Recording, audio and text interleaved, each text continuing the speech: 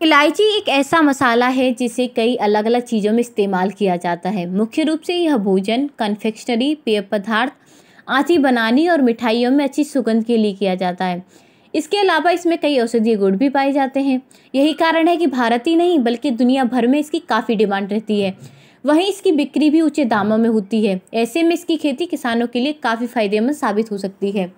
भारत में बड़े पैमाने पर इलायची की खेती की जाती है। अब तक यह मुख्य रूप से केरल, कर्नाटक, आंध्र प्रदेश और तमिलनाडु आदि राज्यों में उगाई जाती रही है। हालाँकि अब यूपी, बिहार के कई किसानों ने भी इसकी खेती का सफल प्रयोग किया है।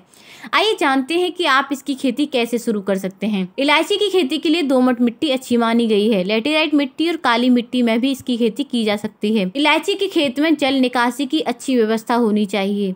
रेतीली मिट्टी पर इलायची की खेती नहीं करनी चाहिए, क्योंकि इसमें नुकसान हो सकता है।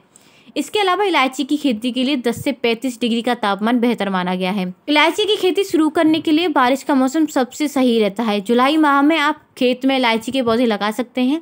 इस समय बारिश होने की वजह से सिंचाई की ज़रूरत कम पड़ती है। इसके पौधों को हमेशा छाया में ही लगाना चाहिए। तेज़ धूप, गर्मी के कारण इसकी पैदावार पर बुरा असर हो सकता है। इलायची के पौधे का तना एक से दो मीटर तक लंबा होता है। इसके पौधों के बीच एक से दो फीट की दूरी होनी चाहिए। इलायची के पौधे को तैयार होने में तीन से चार साल का समय लगता है। प्रति हेक्टेयर 135 से 150 किलोग्राम तक इलायची की पैदावार ली जा सकती है। इसकी कटाई के बाद कई दिनों तक धूप में सुखाया जाता है।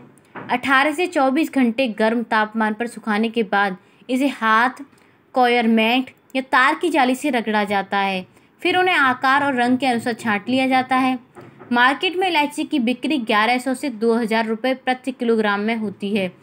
इस तरह आप इसकी खेती से लाखों की कमाई कर सकते हैं।